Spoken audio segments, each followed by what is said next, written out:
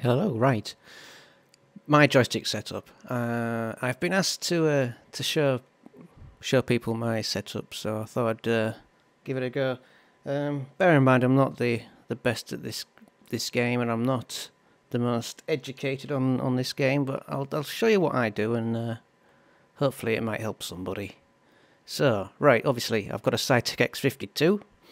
Um, now my joystick I bought in 2004, I believe, so it's it's it's it's over 10 years old now, and I think when I bought it, I think Saitek was still Saitek. I don't think uh, Mad Mad Catz bought them out by then, so I don't know if that's any uh, any reason why the, my joysticks lasted so long or not. I'm not sure, but anyway, um, this joystick isn't uh, isn't perfect, but after 10 years, it's not too bad. Right, if you look at here, this is my Z-axis. This is the, the, the throttle unit, so to speak. So, as you can see, as I pull it all the way back, I still have some travel here. And when I push it forward, it goes to maximum before the actual unit goes to maximum. I get about that much play left after I hit this.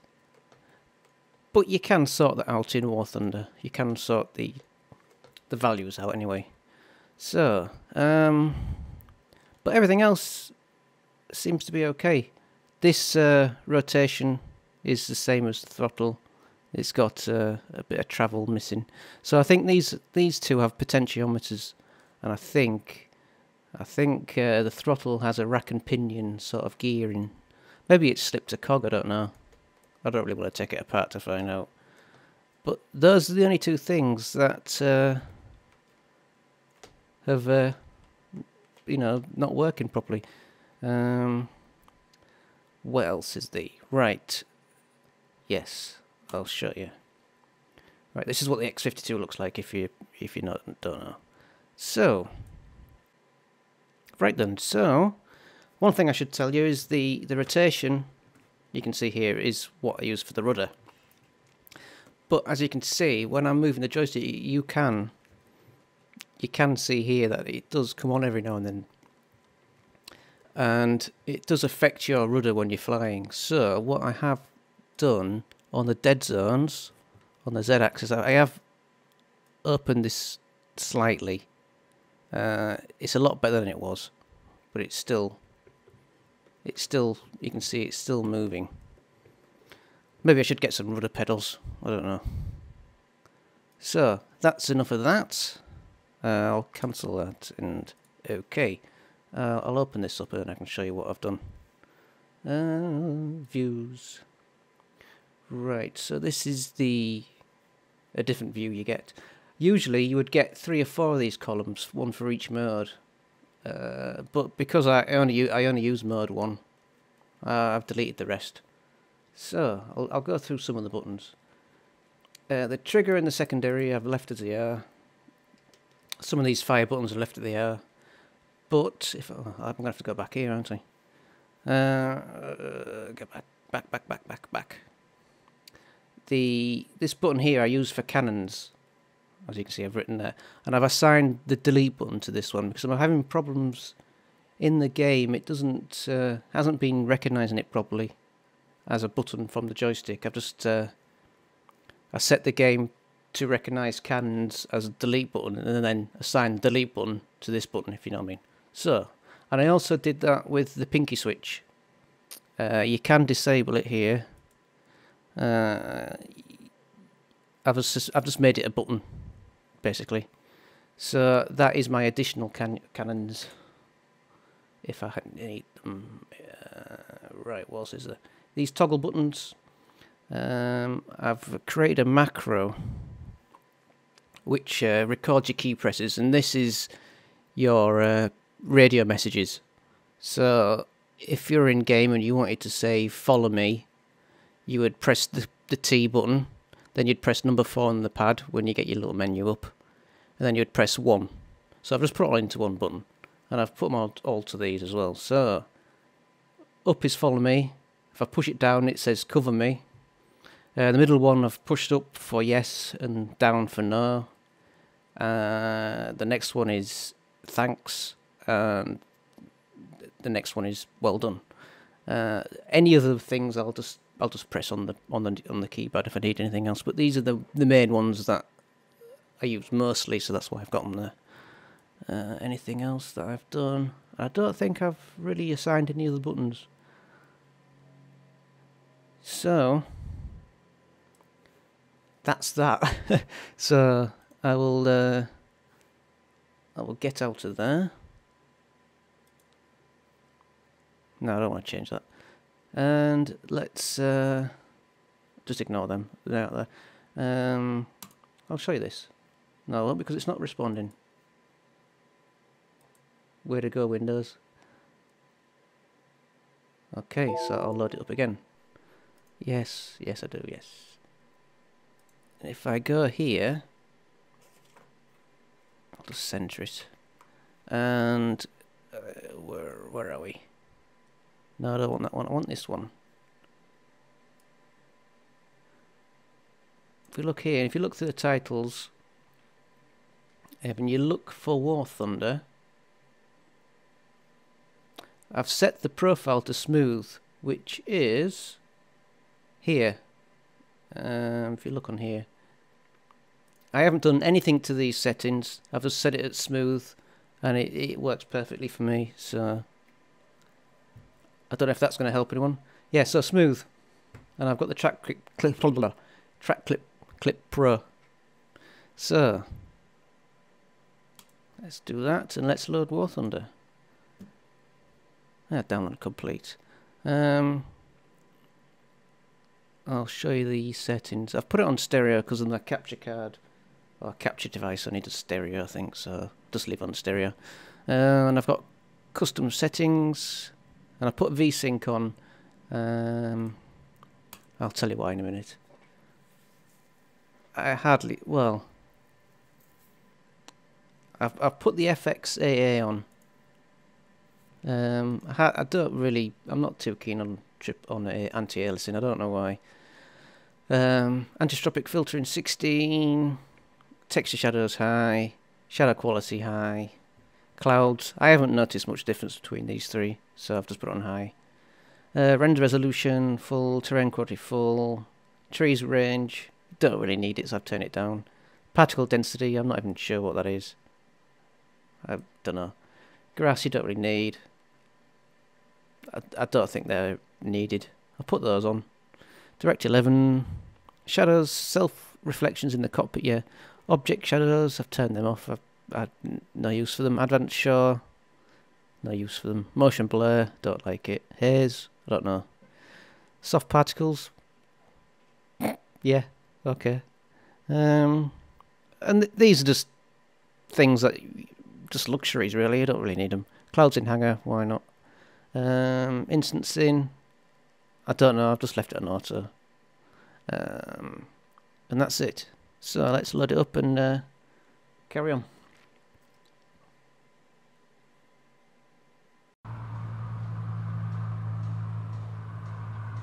Okay, welcome back. Um, I used to set these to zero and then on my... Where are we?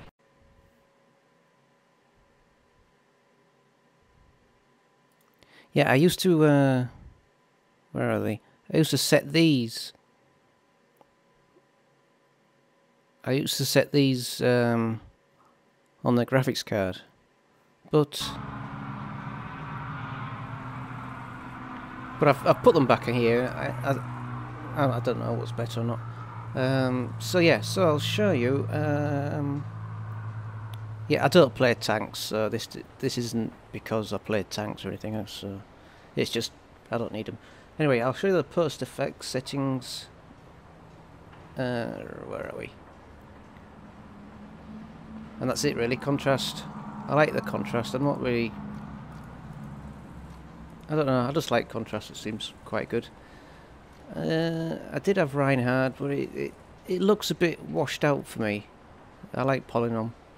And basically I just fiddled and fiddled and fiddled until I found something that I, I, I, I know, something that I liked.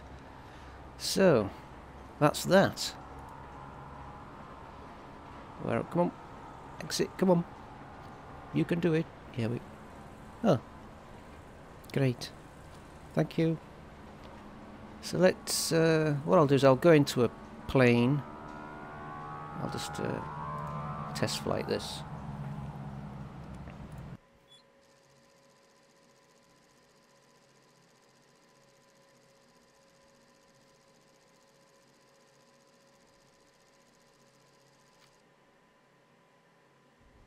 So, right, let's just level this out. I have said before in my videos that my controls are one-to-one. -one. So, you know, there's no there's no difference between what I'm doing on the if you see here it's it's, it's one to one should I say so if you look at the you can see how quickly they react to what you're what you're doing I think I don't think I can see the tail oh, oh yes I can I can do this do that. That seems a bit slower. Maybe I've changed it. I'll, as I say, I'll go into the into the options and I'll show you. So, controls. Whew. Uh, this this took me ages to set up. So, where are we? Uh, roll axis. Sensitivity 100 100%. And if you double click on here, you can see you can, we can see here. Uh, I think the the red yeah the, what it says there the red one is your actual joystick physical axis, and this is this is what the computer's interpreting it as.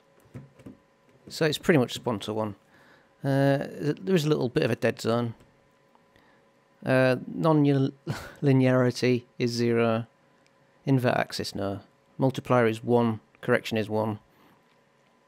Um, so yeah, as I say, it's, it's one to one.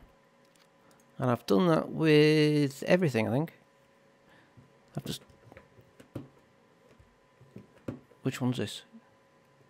Right, this is the rudder. Yeah, so... Um, yeah, exactly the same. And same with the... Uh, I've just, that's the one I just done. P uh, roll. Sorry. There we go. Exactly the same. Uh, so, right then, small caliber guns. Yes, like as I said before, on the, I've set it to delete. So when it when I press that button, the, the delete recognizes it as large caliber guns, and that's my pinky switch, the additional guns. Um, these are just basically buttons that you just you just press when it asks asks you to. Um, is there anything else that you need to know? Toggle flaps. No, no, no, no. Left brake. I've got on one of the rotary dials on my throttle hand. And the same with... Yeah, so here I've got my elevator trim, which is on the big rotary dial where the on your on your throttle is big rotary dial, so you can adjust your elevator on the on the fly, so to speak. And the other, the other thing I, uh, I once I'm flying, I don't really I don't really mess around with these. But uh, once you set your plane up in test flight, you don't. Well, I found that I don't really need to do it. So, uh, you know, useful button is the trimmer fixation. Once you've trimmed your plane up to what what you want in test flight, press F in test flight and it'll save it for any other any other mode that you go into.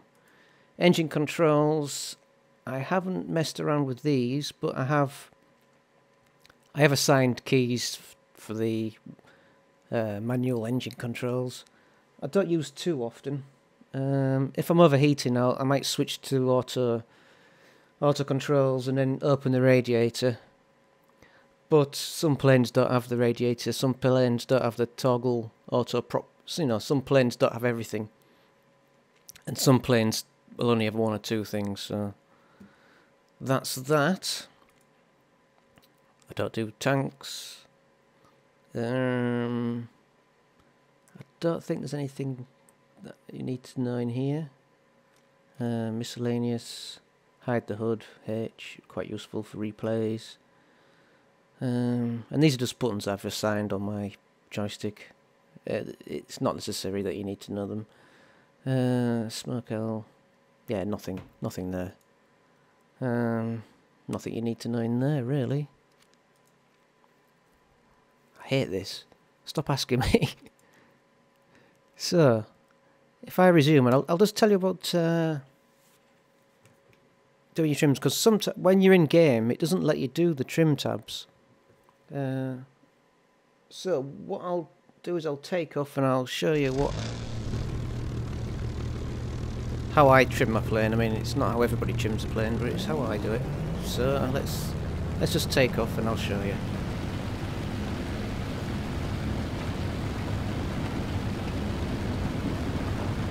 Make sure I don't crash.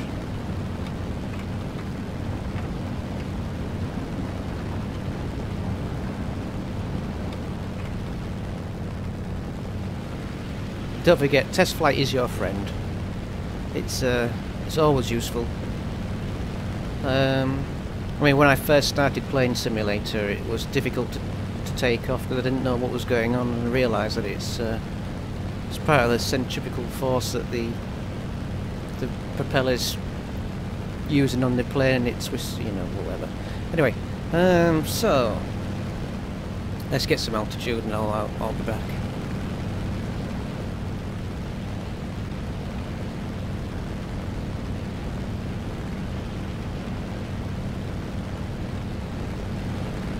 Right, welcome back. So, what I what I always do when I first when I get a, a, new plane that I haven't flown before, I go into test flight. So, as you can see, my plane's rolling to the left. That's part. Well, it's mostly due to the the engine in the front. It has to spin one way, so it, it's the, you know it's forcing the plane to spin the other. But that effect will change depending on how fast you go how high you are or how, how low you are. So what I tend to do, it same happens for the elevator as well. The faster you go, the more the plane wants to lift itself. So what I what I do, I mean, it's it's not the, the correct way to do it. I don't know. It might not be the, the best way to do it, but but what I do is I set my trims at the fastest speed that, that the plane will go, and then I know my limits. So what I'll do is I'll go into a dive and I'll show you. You can see there the, the faster I'm going, the plane is lifting itself. So, on my elevator trim that you can see in the middle, I'll set it set it to 12 or so, and then see if that stops it. It's still climbing a bit, so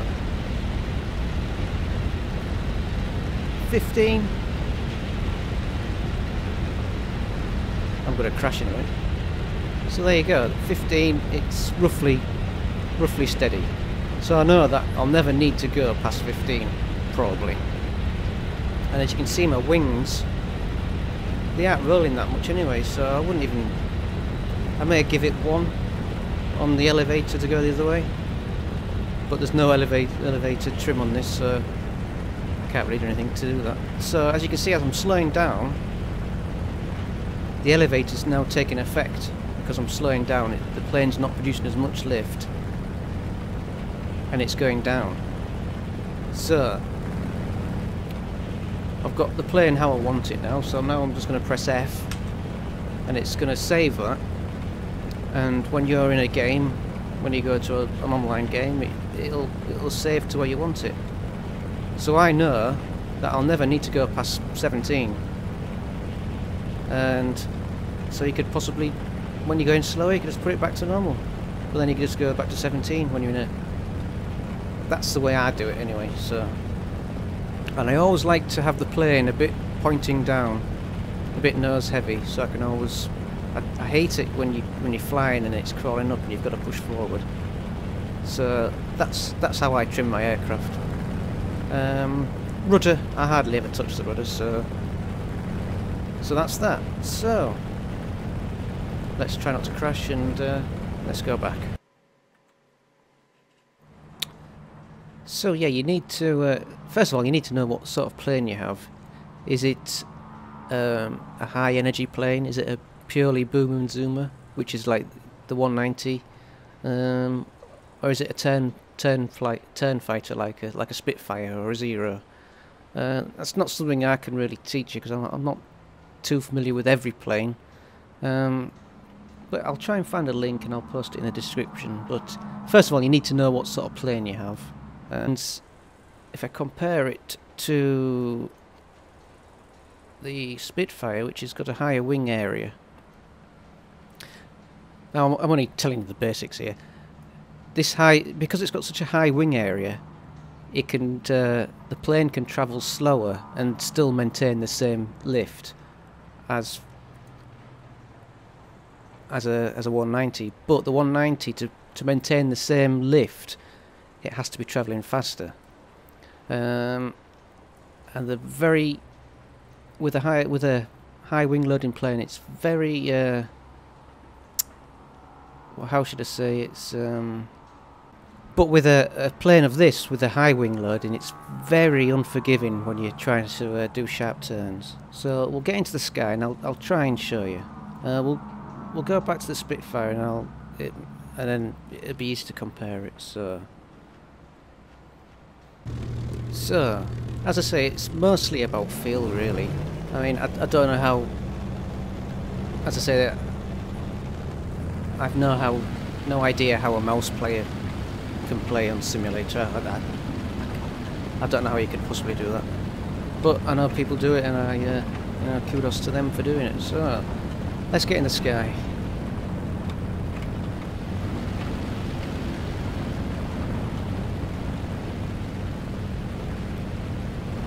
Right then.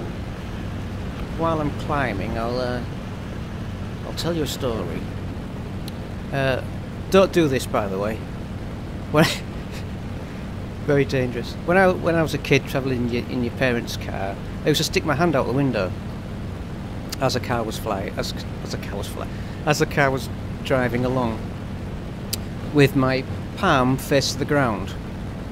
And if you twist, if I used to, you know, you can fly with your with your hand by twisting your hand up and down. You can fly with your hand. You can feel the air pushing your hand up when you twist your arm one way, and pushing the wind, pushing your arm down as you turn it the other way. But if you try and hold your hand there and twist your arm so you so your palm is facing forward, you'll get to a point where the wind just pulls your arm back. And this is what you're having to uh, to try and feel for when you're pulling turns. Um, I'll try and you'll I'll try and demonstrate here. You you will hear the, the buffering and the wind on the wings as you're approaching that point where the wind will just take you. So I'll try and show you here. It's coming in. I'm going quite fast by the way. Still no wind. At this point in the 190 I probably would have flipped. So I'm going to pull a bit further. Still no buffering. Pull a bit harder. Still no buffering. There, there you go, I can you hear it?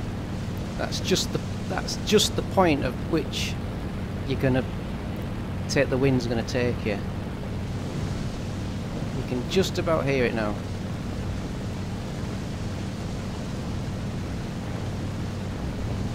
I'm just on the on the borderline there.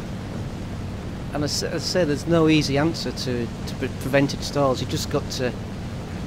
I suggest just doing this, just trying to hold, try and hold it as long as you can. As I say, if you imagine your hand out the window and you turn your hand so much that the the wind will push your hand back. That's effectively what's happening.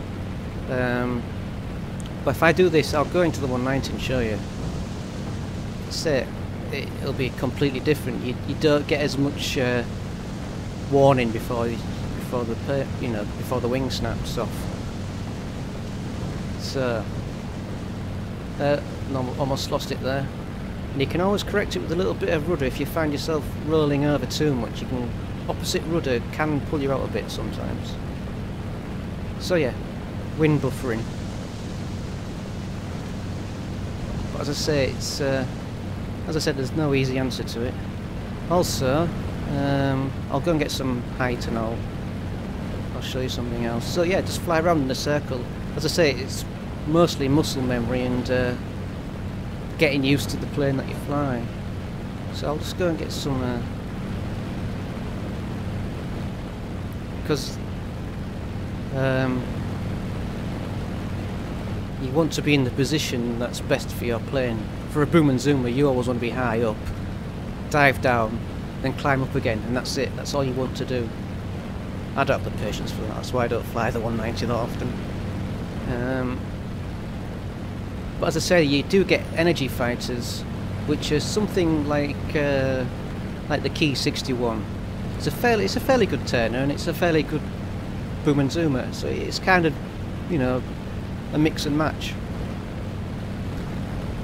So you need to know what plane that you're flying, really. So there's one other tip here. Uh, you could just try doing loop-to-loops in your plane. build up some speed and just try and do it as smooth as possible and this will get this will learn a well it might help you with trying to get over the top of a loop without stalling and get used to the the mile per hour or the kilometers that you're used to just keep doing that and just get used to how how slow you can do it because this, you know, the slower you go as well is uh, can help make you stall as well. So you could just keep doing that. So, what I'll do is I'll go into the 190 and show you the, the difference because it's uh, although you do hear the buff buffeting on, on the wings it's uh, it's not as forgiving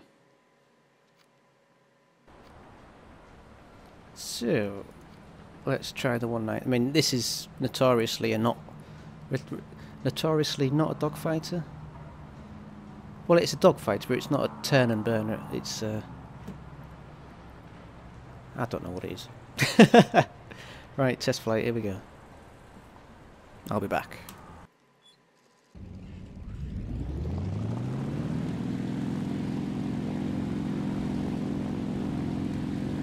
See, I, I, I don't fly these planes because I'm not. A, I don't have the patience, and B, I'm just, I just can't, I just can't get used to it. It's, uh, I've never done well in a, in a 190.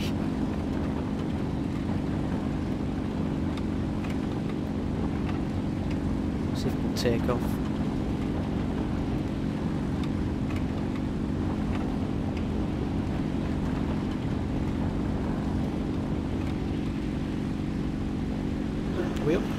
think we're up.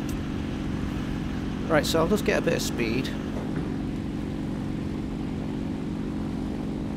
Now this plane, you, you wouldn't, unless you had to, you, you wouldn't really go into a turn fight with a plane. Unless you're turning fighting with a bomber or something, then you might have a chance. But uh, as I say, I'll try and get some speed up, and I'll try and do the same thing I did in the Spitfire, and you'll you'll see. You can you can do it, but just not as well, and it's it's harder to keep that joystick in the same place. It's uh, it's not an easy thing, and uh, because you've got high wing loading wing loading uh, main planes, the the, the speed at which you can turn, you need more speed. So you, turn fighting's not not the key with this plane because you, you need more speed to hold the same sort of turn, which isn't going to happen. So, just come down and try and do a do a turn. You might hear some buffering and I might just flip out, you never know. So, here we go.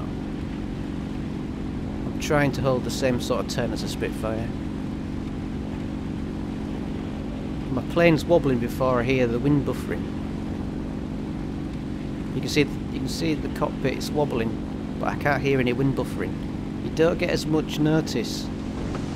There we go. It's very abrupt. Well, I'm just holding on here. And if you go just a bit too far, you're off. And that's it. I don't think I'll save this. So yeah, you need to know what your plane is. Uh, you need to pretend like your joystick's made out of eggshells if you're flying a, a 109 or a 190.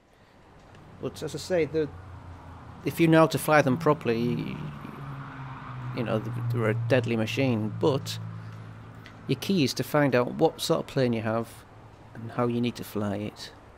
Um, but as I say, just keep I I just uh, I just kept playing, and then just after a while, you you get to know what what plane does what. Um, so yeah, that's my two penneth.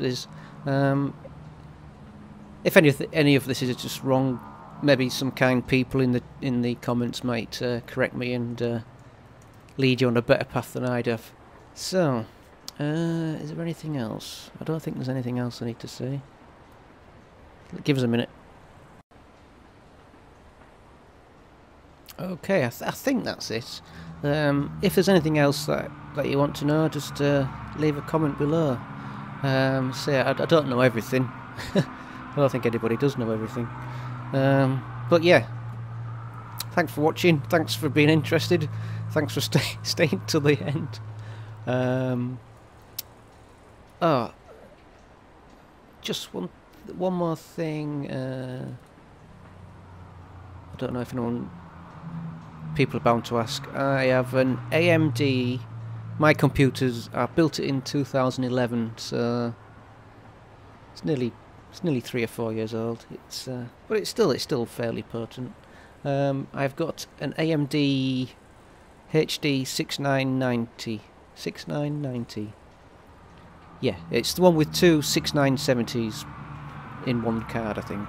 It's still still pretty good and the rest of the computer is AMD uh, bulldozer, eight core bulldozer, eight megabytes, eight megabytes, eight gigabytes of RAM, um, and that's it really. Um, so yeah, thank you, and I will see you on the next one. Adios.